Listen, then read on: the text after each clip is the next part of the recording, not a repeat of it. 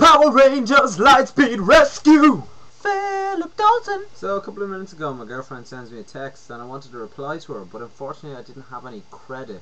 So I went on my phone company's website because I knew I could send free web texts from there. So I arrive on the website and I log in and all this, put in my account details and stuff and then before I can send the text they ask me to register my account. So basically I just got to put in my name and address and stuff like that.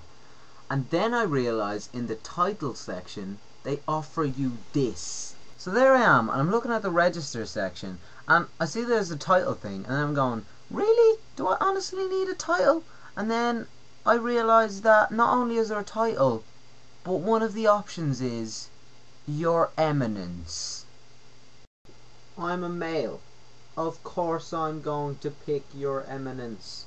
And I don't mean to put like a downer on males and make us out to be stupid or something. We are. But in fairness, the thing that I wanted to text my girlfriend back about in the first place was to remind her that she had to get a Power Rangers Jungle Fury projection watch.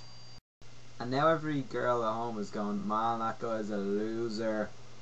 And every guy at home is going, oh my god, I want that watch. It projects the time on the wall. Why would you not want that?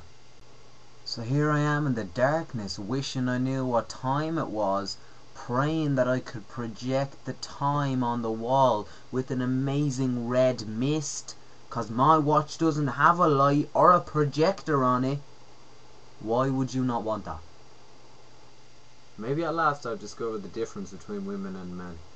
But anyway, of course I'm going to pick your eminence. If the options are Mr., Miss, Mrs., and your eminence, of course I pick that one. You silly phone company.